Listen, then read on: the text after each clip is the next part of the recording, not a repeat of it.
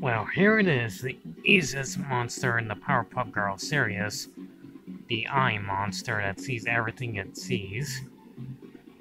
Its weakness is Blossom's messed up hair thanks to Bubbles and Buttercup.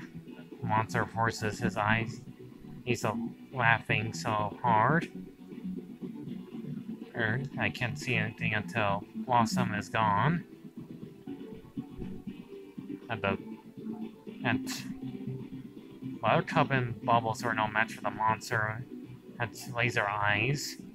He has that everywhere it goes.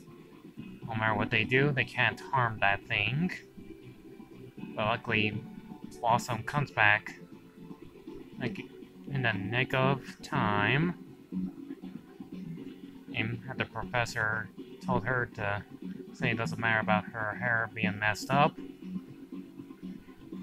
Um, what what's inside that counts. And saves her sister from being laser eye beam and force the monster to, eye monster to laugh and have all its eyes shut full of laughter. Luckily,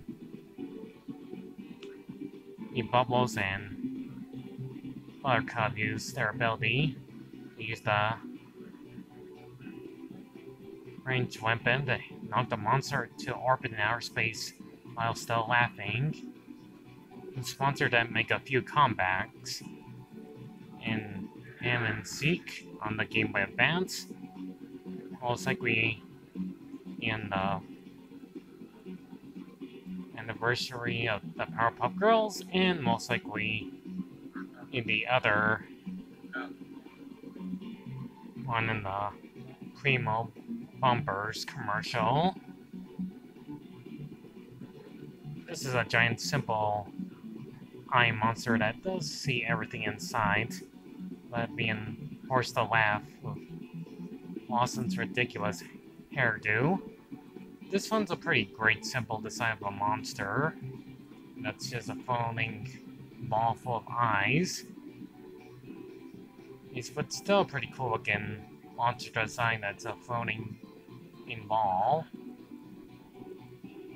And we all seen them many times before that most monsters that have lots of eyes are one eye. This one has tons of eyes all over its body. But still one of my favorite kind of monsters in the Powerpuff Girls series. This one takes the cake to be the easiest one to do artwork design. See you in the next video, mites.